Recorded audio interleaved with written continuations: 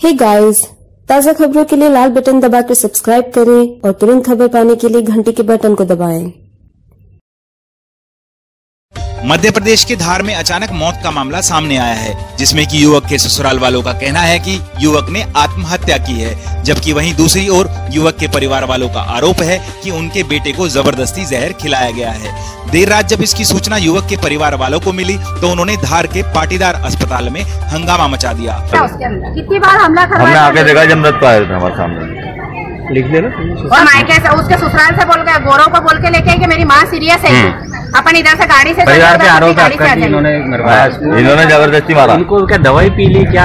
ये ये ये इनको ये इनकी ये रानी जानते नहीं हैं जाने रानी और रानी के भाई और उसकी माँ जाने। हाँ। तो उन लोगों ने उसको क्या पिलाया क्या खिलाया? हम लोग तो इंदौर में थे। और युवक के ससुराल वालों पर आरोप लगाया कि उन्होंने उनके बेटे के साथ मारपीट कर ज़बरदस्ती जहर खिलाया है और फिर अस्पताल में भर्ती कराया, जहाँ देर रात उसकी मृत्यु हो गई।